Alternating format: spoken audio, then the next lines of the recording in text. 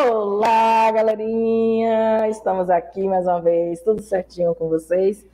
Muita paz e um beijão aí no coração de todos. Né? Sejam bem-vindos à nossa, né, à nossa aula. Como vocês sabem, eu sou a professora Rosivânia. Eu sou uma mulher negra, de cabelos negros na altura do ombro. Estou trajando uma blusa preta, um jaleco branco.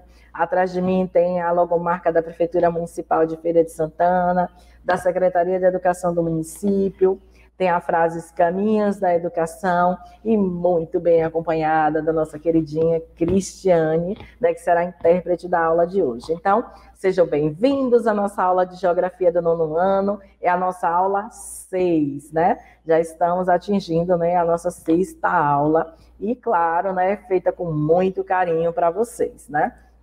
Então, né, o tema da aula de hoje, aí já tem algumas coisinhas assim que já vai chamando a atenção para vocês, né? Tem o dinheiro, tem uma vaquinha ali, então já vai dando a entender assim que a gente está falando, né, sobre economia. E nós vamos falar sobre a economia asiática. Então, essa economia onde você tem toda, bora dizer assim, essa diversidade entre países que não crescem muito a países que crescem né, avassaladora ali, essa economia cada dia, né, o PIB só aumentando ali. Então, nós temos desde os países mais pobrezinhos aos países ricos aí nesse espaço. E claro, no meio, né, os países emergentes, aqueles que estão, né, que começaram com a industrialização um pouco mais tardia, né, que tem industrialização mais recente. Então, na realidade, vamos lá falar um pouco sobre essa economia, né? Como vocês já viram, né, a gente falando da própria Ásia em outras aulas, nós falamos que a característica desse continente é a diversidade. Não foi isso que eu falei nas outras aulas? Se vocês assistiram, vocês vão lembrar que quando eu falei sobre o continente asiático, nós falamos o tempo todo da diversidade. A diversidade de clima, diversidade de vegetação, diversidade de pessoas, diversidade de religião. Então, também, mesmo sendo as atividades agrícolas tão, bora dizer assim, né, tão corriqueiras, que você já sabe ali que é aquelas atividades que envolvem as atividades do setor primário, né, ali a, o plantio, a criação de animais, o extrativismo, elas também têm suas características variadas. Então, nós vamos observar áreas que essas atividades agrícolas elas são extremamente tradicionais. O que, que significa é, uma atividade agrícola ser considerada né, como tradicional?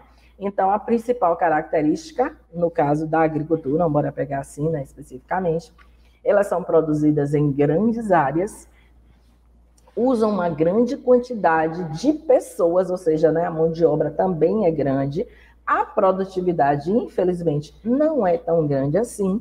E também tem muitas perdas, porque não tem todo aquele aparato tecnológico para né, prever algumas coisas. Então, eu mostrei, estou mostrando aqui algumas né, fotos, vocês vendo a grande quantidade de pessoas, as posições né, para o plantio, para a colheita, né, aqui já né, no espaço da colheita, que vocês vão vendo aí é, percebe que gera também uma série de doenças ocupacionais. A pessoa está muito ligada a essas áreas, aqui é o cultivo de arroz, então significa né, que está utilizando aí né, essa técnica, vamos dizer assim, de jardinagem, que a gente chama né, é, de jardinagem, que é onde você utiliza muita água para poder produzir, até porque a cultura do arroz, né, existe também uma grande quantidade de águas é, para você produzir eles. É claro que na modernizada tem outras técnicas, utilizam fertilizantes, uma série de outras coisas, não vai exigir assim áreas muito grandes e, é, embora dizer assim, uma grande quantidade de mão de obra. Mas essa é a grande característica aí. Só que tem o, a questão, né, de que você vai depender dos elementos naturais para poder que dê certo, né? Essa, essa, e, além do mais, você tendo uma grande quantidade de pessoas, também tem uma grande quantidade de encargos, salários, né, de uma série de coisas aí referente a isso. Então, as áreas menos desenvolvidas aí, né, da atividade agrícola, têm como característica essas atividades feitas de forma tradicional. Então, ainda entra aí muito a família, né, trabalhadores pouco qualificados, mas que já tem tradição no plantio disso, que acaba aprendendo ali com a prática de estar sempre fazendo aquilo, mesmo que não tenha ido para a escola, né, estudar. Por outro lado, como eu falei, né, das diversidades, olha a diferença do plantio. Quem faz já é a máquina, aqui já vem as mudinhas de arroz. Olha a diferença, ó, já faz o caminhozinho. Até para a própria colheita, as máquinas já passam já, né? nesses espaços aí sem ter muita perda, coisa que o olho humano, a, o trabalho humano não sai essas linhazinhas assim certinhas, e em pouco tempo essas máquinas elas botam muitas mudas aí no espaço e não precisa de áreas muito grandes né, para poder produzir isso. Então, elas são modernizadas, elas usam maquinarias, elas usam conhecimento de técnicas de manejo né, para poder fazer isso. Tem uma série de produtos que colocam para que a produção ela aumente, para que elas não sejam suscetíveis a determinados tipos de pragas. Também, infelizmente, utilizam, às vezes, muito mais agrotóxicos do que outros tipos de, de atividade agrícola, né? Então, tem todo um manejo diferente aí. Para você ver, só o plantio você já percebe já a diferença, o que leva várias pessoas fazendo e vários dias também a máquina faz em algumas horas o trabalho de não sei quantas pessoas. E olha aqui, né? Só um trabalhador para você perceber. E depois olha o resultado disso, né, gente?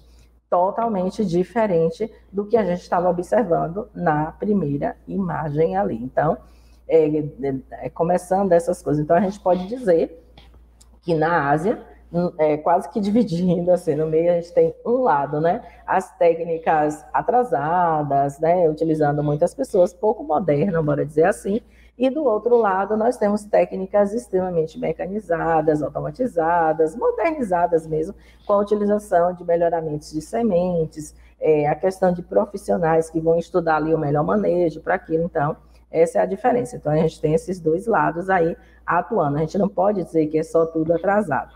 Com relação à pecuária, a gente tem uma grande quantidade né, de forma extensiva, ou seja, aquele gado lá solto no pasto, e também esse transporte, né, que a gente chama, né, feito principalmente pelos povos nômades, esse transporte de uma região, né, desses animais de uma região com poucas condições ali naquele momento, para uma outra. Só para você entender, a Ásia de monções, ela é, tem características de ventos sazonais. Então, tem seis meses, lembra que a gente estudou na aula passada?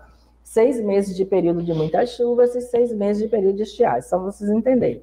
Que a gente tem na Índia um dos maiores rebanhos, né? Mesmo não se matando a vaca, porque é considerado animal sagrado lá, então percebe que quando chega no período das estiagens, esses animais eles têm que migrar, né, fazer esse processo nômade, tem que buscar áreas em que tenham um melhor capim, que tenham uma melhor oportunidade. É claro que aqui a gente está falando, né, dos bovinos, mas tem também todos os outros animais, as cabras, né, os cavalos, os porcos, tal, tudo direitinho.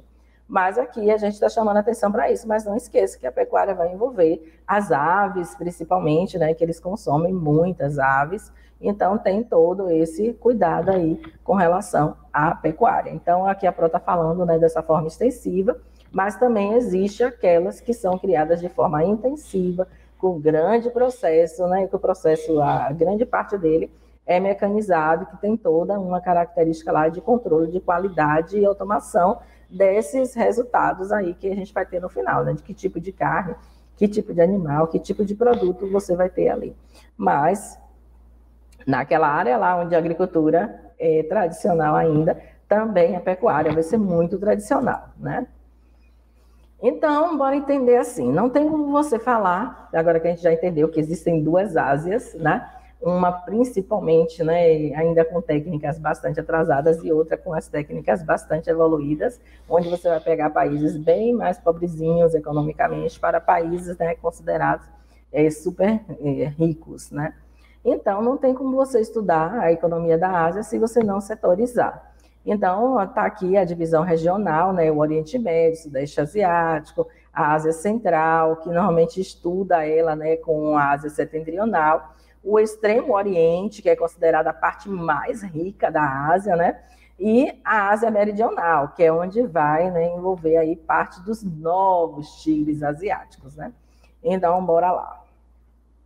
Então, bora começar estudando a economia do Oriente Médio, né? É, o que, que a gente vai encontrar lá, né, na grande maioria, né, no Oriente Médio? Nós vamos encontrar o petróleo, o gás natural e a agricultura fraca. O que, que a gente está falando? A gente está falando de um local onde tem muita, bora dizer assim, é, muita área árida, né, desertos e tudo, ou então a agricultura não é o forte de lá, embora a gente tenha esse destaque né, lá de Israel, onde tem toda aquela cultura hidropônica e tudo. Então, o que, que eu já estou dizendo para vocês? Que mesmo sendo uma agricultura fraca, não é necessariamente, não são necessariamente todos os lugares são atrasados, né, com técnicas tradicionais. Existem sim as técnicas mais avançadas mas o forte mesmo da economia lá é o petróleo. É esse elemento econômico tão fundamental para o funcionamento da economia mundial, né? A gente sabe que quase todos os transportes hoje, né, a grande maioria, utilizam mesmo o combustível né, derivado do petróleo, e a gente sabe que ele hoje manda realmente no mundo. Então, aqui nesse lugar também é muito, bora dizer assim, né, muito rico que vai envolver aí os países produtores e exportadores de petróleo, com suas grandes, não só as extrações, mas também com suas grandes refinarias. Então, é um ponto bastante estratégico, geopoliticamente falando, e economicamente falando, porque ele, você está em rotas de passagem também aqui nessa região, principalmente aqui no Mar Vermelho, e apesar de ser uma grande área de conflito, como nós estudamos na aula anterior, ele está aqui montadinho no ouro negro, né, que é o petróleo, os petrodólares, e aí que você sabe que nessa região a riqueza também rola muito solta aí nesse espaço. Outro elemento também é o gás natural, importantíssimo, né, também para o desenvolvimento da sociedade de hoje. Então, essa agricultura fraquinha, ou seja, que não tem grandes áreas assim, né, de produções agrícolas, não vai interferir tanto, porque a maioria mesmo da economia vai estar pautada no petróleo. Então, é uma região detentora de aproximadamente 60% das reservas petrolíferas do mundo. Ou seja, cada 10, 6 estão aí. Então, gente, é muito dinheiro, muito, muito mesmo, né? Por isso que essa região tem muitos conflitos também. Então, o outro pontinho é a Ásia Meridional, como o próprio nome já está falando, né? Referente ao Sul, a Ásia do Sul, onde a gente tem aqui em destaque, no caso aqui, né, a Índia, é uma das regiões mais pobres do mundo. Aqui, esse espacinho, quem já viu o filme da Índia percebe e sabe o que é isso que a gente está falando. Todos os países apresentam baixíssima renda per capita, ou seja, a distribuição mesmo da renda para o povo é pequena, tem uma grande concentração de renda também na mão de poucas pessoas, né? É, apenas a Índia tem indústrias, né, que também pautada naquela utilização da grande quantidade de habitantes, que é 1 bilhão e 400 milhões, e 300, quase 400 bilhões né, de habitantes, e aí vai perceber que parte dessa mão de obra ela trabalha e trabalha com condições assim bastante precárias, né? Bem próximo mesmo aos trabalhos escravos. A agricultura de subsistência, ou seja, ali mesmo para alimentar aquele mercado interno, sem grandes pretensões, né? Digamos assim, para vender para outros países. Normalmente a cultura de cereais, o principal, o arroz, que é a grande característica da agricultura da própria Ásia, não só aí, né, na, é, na Ásia Meridional, mas é essa característica. É, o uso de tecnologias ultrapassadas, né, então o nível de produção extremamente baixo. Que aí é onde a gente vai ter aquela parte, lembra que eu falei da divisãozinha? Né, você tem essa divisão, esse lado aqui considerado né, de técnicas tradicionais pouco desenvolvidas, e este outro lado aqui, a parte mais modernizada. Então, o uso de tecnologias ultrapassadas, nível de produção baixo, os países que fazem parte são esses aí, Bangladesh, Butão, Índia, Nepal, Maldivas, é, a PRO acabou até repetindo aqui Nepal de novo, Paquistão e Sri Lanka. Então, esse espacinho aqui, aqui é Sri Lanka, esse espacinho aqui, ele tem essa característica de, infelizmente, não ter um grande desenvolvimento nem industrial e nem ligado né, às atividades do setor primário. Ele tem, mas não é expressivo. O único país que vai se destacar mesmo é só a Índia, né? Bom, aí nós temos aqui a questão né, do Sudeste Asiático. É, só chamando a atenção aqui das belíssimas paisagens, né? É, bora entender aqui, né? A gente tem a Tailândia, olha, gente, olha que praia, né? Maravilhosa. A gente tem o Camboja, com todas aquelas ruínas, né? aqueles prédios. A gente tem Laos, né? Com esse espaço natural aí, principalmente para as pessoas que são mais aventureiras, né? O Vietnã, que tem essas paisagens bonitas, mas em compensação, a gente sabe, né, por filmes, tem uma série de, de coisas aí que tem que tomar um pouquinho de cuidado, né, aí nessa região do mundo. A Indonésia, muito falado, roteiro turístico aí. Singapura, com todo, né, aquela coisa assim de, de desenvolvimento tecnológico. Aqui agora volta de novo, né, para ideias naturais, as Filipinas, né, passeio turístico, Mianmar, né, a Malásia. Então, gente, são lugares belíssimos, já tem como característica mesmo o turismo. E além dessa característica do turismo, eles agora estão abrindo espaço para o capital, para empresas né, estrangeiras, as, as famosas multinacionais e as transnacionais. É, considerados né, os novos tigres asiáticos, né, é, a característica principal dele é o setor primário. Só que tem uma coisa que vocês vão entender melhor essa questão dos novos tigres asiáticos quando a gente vai falando até dos tigres da região dos, dos tigres asiáticos. Só para vocês entenderem, é, a ideia do sempre quando fala de tigres asiáticos, quase todo professor, né? É, acho que é, não pode faltar na aula, né, as garrinhas, né, dos tigres. Quase todo professor de geografia faz aquele barulhinho de... então eu não podia faltar, deixa eu fazer meu momento aqui, tá, gente? Cada um fazendo o seu tigre aí do seu jeito, não rio do tigre da prova. Então, qual é a ideia de tigre, né, que a gente tem mesmo? É que é aquele animal ágil que ataca, que tal. Mas aqui a gente colocou essa palavra novos.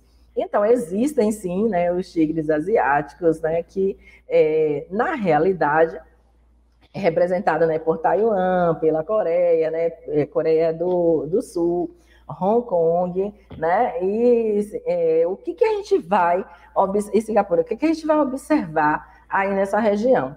Foram países que receberam injeção né, da, da maioria, quando eu chegar lá, daqui a pouco já falei tudo, viu que já receberam injeção das indústrias, principalmente né, algumas indústrias norte-americanas, chegaram lá, investiram aí nesse espaço e, consequentemente, eles, como já tinham investimento, a geração de empregos, já tinha né, uma quantidade de renda circulando, eles fizeram o dever de casa. O que é fazer o dever de casa? Investiu para que a população ela se educasse, então investiu na educação da população e em ciência. Então, o que, que aconteceu? Esses tigres asiáticos hoje eles estão mandando a sua parte de produção para outros cantos, nessas né? indústrias para outros cantos. É porque enfraqueceu os tigres asiáticos, né? no caso, né? esses outros quatro países? Não, é porque eles já se desenvolveram tanto que eles ficaram com a parte de criação dessas empresas. E a parte de produção, que normalmente vai buscar o lucro, né? É, aí o que, que ele procura? Mão de obra barata, matéria-prima, mercado consumidor. E aí foi buscar em outros lugares. Aí é onde entram os novos tigres asiáticos, que são esses países aí. Mas eles são países pautados no setor primário. Então, o que, que eles estão indo lá? Vão criar uma mercadoria, esse negócio? Não, porque eles não fizeram esse investimento na educação. Eles vão oferecer o que essas empresas realmente estão buscando: matéria-prima, mão de obra e o mercado consumidor. O contrário dos outros tigres asiáticos que começou também desse jeito, mas eles investiram depois nisso. Pode até ser que amanhã ou depois a gente esteja aqui falando, né, referente a isso do Sudeste Asiático, mas na realidade, no momento, não. Estão indo buscar mesmo que a maioria das empresas vão buscar. Eles montam suas produções lá em busca desses tipos de condições. Agora, o queridinho, o espaço, né, bora dizer assim, mais rico da Ásia é o extremo Oriente que nós vamos pegar né, países como o Japão, que são considerados potência mundial. A gente vai pegar também países como a China, que está né, chegando perto né, na produção econômica junto com os Estados Unidos. Então, essa é considerada a área mais rica, né? Ainda tem a Coreia do Sul também, né? E mesmo tendo a Coreia do Norte lá. É, então, o que, que acontece aí? é o maior PIB da Ásia, ou seja, vai juntar a maior produção interna bruta da Ásia. São os países mais industrializados. Eu, se você quase sempre que você fala do Japão, você lembra de quê? De tecnologia. Você lembra de inovação tecnológica, você lembra de soluções inteligentes para a maioria das coisas, né? Então, hoje a gente tem a casa toda integrada ali naquele sistema é, tecnológico, graças a quem? A países como o Japão, algumas áreas assim também, referente a países como a China, né? É, como Taiwan, como Hong Kong, só para você né, observar, assim, quando você chega em casa, você olha alguns produtos, né, você tem um produto da Samsung, você tem né, um, um carro da Hyundai, é, um, um produto da LG, você está falando dessa região daí do mundo, né? Então, você está falando desses produtos. Quando você olha até coisas menores, como um prato, um talher, uma roupa, um tênis, vem de onde também? Do Extremo Oriente, da Ásia. Então, gente, eles são extremamente desenvolvidos, é o canto mais rico que tem aí. Então, ele é pautado nessas altas tecnologias. Olha os tigres asiáticos aí, né? representado né, é, pelo, por, por Taiwan, por Hong Kong, né, por Singapura, né, pela Coreia do Sul. O que, que eles têm aí? São os países que inicialmente se investiu na economia deles, como eu falei anteriormente, e eles, como já estava tendo um alto grau de desenvolvimento, sobrou para eles ali investir na população. E essa população foi se auto-especializando, são pessoas, né? É tipo aqueles profissionais creme de la creme de la sociedade, né? É aquele, é aquele pessoal, digamos assim, de, que entende da tecnologia de ponta. Por exemplo, a gente pega um celular e a gente usa o celular. Mas eles fabricam o celular, gente. Então, às vezes, eles fabricam até o problema que vai ser colocado ali naquele aparelho. Isso a Pro está falando de um celular, mas podia estar tá falando de diversos outros aparelhos, quaisquer. São eles quem fabricam, são eles que entendem como é que aquela tecnologia funciona e faz a gente ter aquele produto lá. Totalmente diferente da gente montar o produto como é o que acontece, por exemplo, nas indústrias brasileiras. A gente monta. E é também o que acontece naqueles novos tigres asiáticos que eu falei, né? Na, é, naquela parte ali, é, é, na, na, na, tela anterior, que a gente estava falando né, sobre essa questão do, de você estar, tá, né, do Sudeste Asiático, de você estar tá ali criando os novos tigres asiáticos, porque os atuais eles já se desenvolveram tanto que não tem mais como eles ficarem com a parte da produção. Então, eles agora eles estão ficando com a parte criativa, né? O, você inventar novos produtos e espalha para o mundo ali para poder fabricar e também né, para poder é, consumir esses produtos. E os lucros voltam para eles ali. Então, são produtos de tecnologia de ponta, né? O, as altas tecnologias. E eles dominam muito, gente, esse espaço aí, e não tem para ninguém, quase que praticamente. É claro que os Estados Unidos também têm né, o seu valor nesse, nesse mercado, mas quando a gente fala de tecnologia mesmo, o primeiro país que vem na mente da gente, a gente pensa logo no Japão, né? A gente pensa nos tigres asiáticos, a gente pensa na China, quando a gente fala em alguns países, né, de alguns produtos desse, principalmente produtos como os muito corriqueiros da gente, como computadores, os celulares e as TVs, né? É, até os carros hoje são muito inteligentes, gente. Eles já têm conexões, alguns já dirigem sozinhos, já estacionam, utilizam vários tipos de energia. Eles realmente eles arrasam quando o assunto é tecnologia. Então vamos falar agora de outra região que infelizmente, né, ela não tem esse desenvolvimento muito grande assim, porque durante muito tempo eram considerados países socialistas em que a grande preocupação econômica era exatamente o poderio bélico, e aí a gente sabe que a compra de armamentos e manter exércitos gasta muito, né, gasta-se muito dinheiro público, e não deu muito para desenvolver aí a população. Então, é essa regiãozinha aqui que a gente tem a Rússia, né, como o país que tem, vamos dizer assim, influência né, sobre os outros, mas o que, que eles têm de interessante lá? A exploração de gás natural, o carvão mineral, o petróleo, principalmente né, na Rússia, que é a característica, e o ferro.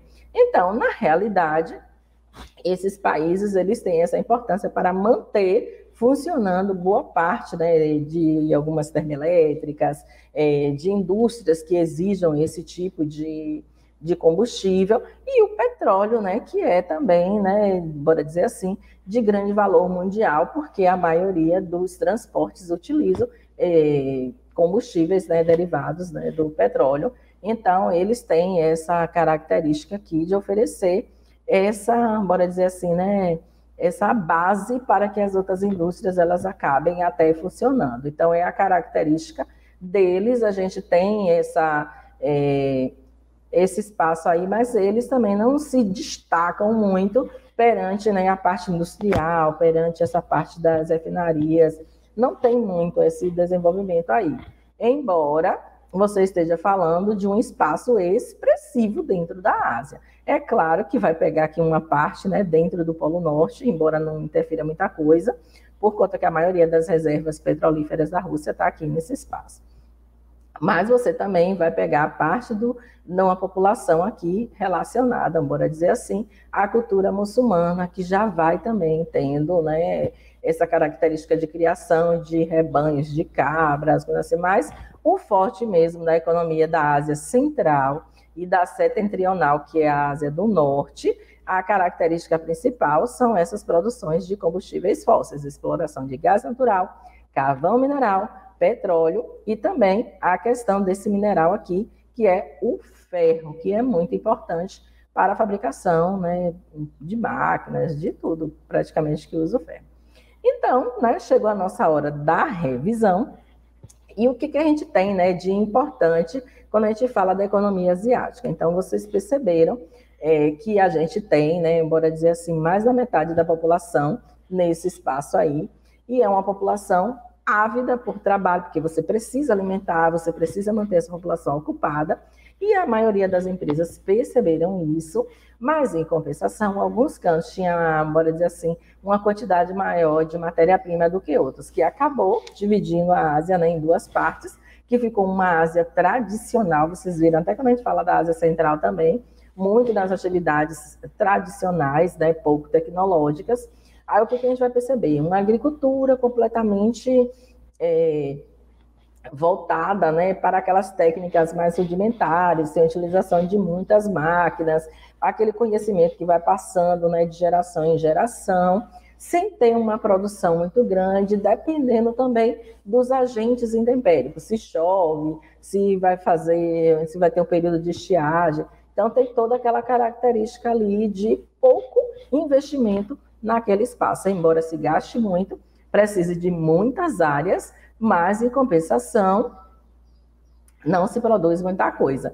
Vocês perceberam também que, é, é que a agricultura na, na Ásia é muito essa questão dos planteixos. O que são planteixos? Né, principalmente na parte modernizada, né, que já, já é o outro lado. É o cultivo de um único produto, que a maioria né, planta arroz, né, é de um único produto com o objetivo de exportar que essa já é a característica da agricultura mais modernizada, né, que usa altas tecnologias, conhecimento, melhoramento de mudas, técnicos específicos para que essa produção aumente. Então, eles têm, eles visam o mercado externo. Então, o mercado externo tem exigência de peso, de coloração, de tamanho, de embalagem, de tudo, e eles precisam atender esse mercado externo. Então, esses plantations, que é né, grandes dizer assim, o plantio de um único produto em, em grandes áreas e voltada para o mercado externo tem que atender essas exigências aí.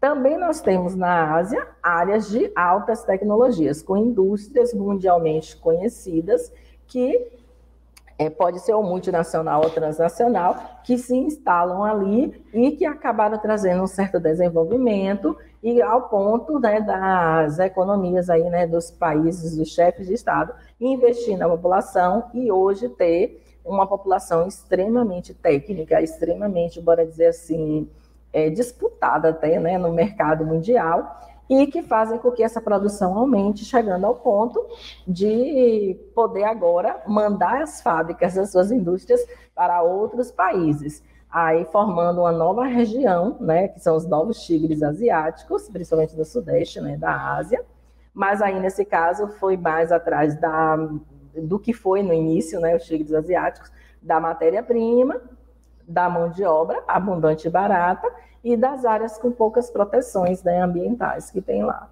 Assim também como vem para o Brasil, né, gente? Infelizmente, né, eles passaram por um processo de industrialização tardia. O que, que é isso? Veio depois, não foi lá junto com a primeira revolução industrial. Né, ele já veio já no finalzinho. Para você ter ideia, o Japão ele é mais pautado, né, por dizer assim, na terceira revolução industrial. Mas aí essa industrialização tardia ou recente, ou seja, mais próximo né, da, do nosso período agora, deu a eles também essa oportunidade deles né, fazerem o dever de casa, coisa que o Brasil não fez. A gente só aceitou essa tecnologia aqui, não investiu em educação e a gente continua montando coisas, a gente não está criando elas, né? Totalmente diferente dos tigres asiáticos, que foram ávidos, abocanhar esse mercado aí e foram entender como é que ele funciona e criar os seus próprios produtos, coisa que nós não fizemos, infelizmente. Bom para eles, para a gente nem tanto, e essa foi a nossa aula de hoje. Espero que vocês tenham entendido a importância né, da Ásia nesse cenário internacional para que todas essas indústrias mundiais elas funcionem. Então elas vão desde aqueles produtos simples, como você ter um prato em casa, até né, construção de carros, de aviões, né, é, de tanques de guerra, o que for, você vai encontrar aí nesse espaço. Bom, um beijão para você e até a nossa próxima aula. Obrigado por ter ficado até agora. Qualquer dúvida já sabe, corre lá, assiste a aula de novo ou pergunta para o professor ou a professora de vocês. Um beijão, muita luz né, na vida de vocês. Até a nossa próxima aula.